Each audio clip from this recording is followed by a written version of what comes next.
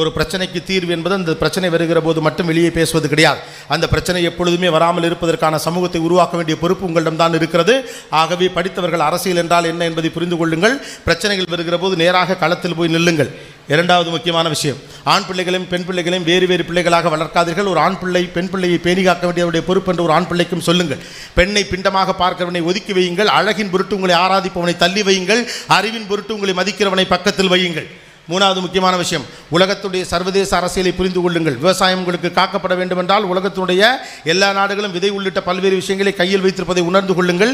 இங்கே இருக்கக்கூடிய விவசாயிக்கு நீங்கள் பொண்ணு கொடுக்கணும் விவசாயியை ரெஸ்பெக்ட் பண்ணணும். வாட்ஸ்அப்பில் க்ரீன் க்ரீன் டிபி வைக்கிறது மூலமாக ஒரு விவசாயத்தை காப்பாற்ற முடியாங்கிற யதார்த்தத்தை புரிந்து கொள்ளுங்கள். நாலாவது வெறும் இமோஷனலாக மட்டும் இருக்காதீங்க. நீங்களாம் இன்றைக்கி க்ரோன் அடல்ட் வாழ்க்கையில் அடுத்தடுத்து பெரிய கமிட்மெண்ட்டை சந்திக்க போகிறீங்க இந்த சமூகத்துக்கு தேவையான விஷயங்களை செய்ய போவது நீங்கள் தான் ஆனால் அந்த பொறுப்புணர்வோடு இந்த சமூகத்தை அணுகுங்கள். நீங்கள் சின்ன பிள்ளை இல்லைங்கிறத புரிஞ்சுக்கோங்க. அஞ்சாவது முக்கியமான விஷயம் நீங்கள் மெஷினோட போட்டி போட போகிற ஒரு மிகப்பெரிய இடத்துக்கு வந்திருக்கீங்க. அப்போ கலெக்டிவ்லி ஒன்றா இருக்கணும் நம்ம. நாமெல்லாம் ஒன்றா இருக்க மாட்டோங்கிற நம்பிக்கையில் தான் உலக நாடுகள் நம்மளை பிரித்து பிரித்து வைக்கிறானுங்க உள்ளூர்காரனு பிரித்து பிரித்து வைக்கிறான்.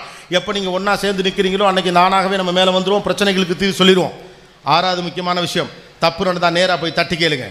ஜஸ்ட் வாய்ஸை மட்டும் ரைஸ் பண்ணிவிட்டு பின்னால் போயிட்டு புலம்பக்கூடிய ஒரு ஆளாக உங்களை உட்காராதீங்க.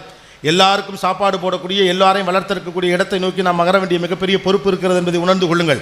நீங்கள் தான் இந்த உலகத்துடைய பெருமாற்றங்களை செய்ய போகிறவர்களோட தன்னம்பிக்கை ஒரு லீடர் போல போங்க. ஒரு ஸ்டூடெண்ட் போல இருக்காதீங்க.